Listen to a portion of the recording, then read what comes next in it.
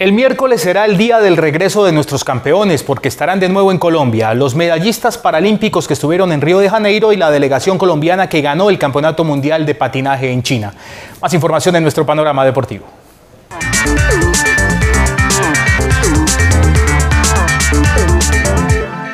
El Día Mundial de la Esgrima se celebró en Cali en el Boulevard del Río, que reunió 80 practicantes de Palmira, centros de iniciación deportiva de la ciudad y la selección Valle. La celebración deportiva fue organizada por el Club Portos y disfrutada por los transeúntes. En Jumbo se realizó jornada dominical deportiva. En el Parque Bolívar compitieron equipos de diferentes barrios en el voleibol al parque, organizado por el Inderti. La jornada también incluyó ajedrez en el Parque Belalcázar y balonmano en el Coliseo Carlos Bejarano. La selección Valle de Fútbol de Salón se quedó con el título del Campeonato Nacional Categoría Sub-20 al derrotar a Quindío tres goles a dos en la cancha del Coliseo Ramón Elías López. 14 selecciones departamentales compitieron en el campeonato, que tuvo como sede al municipio de Palmira.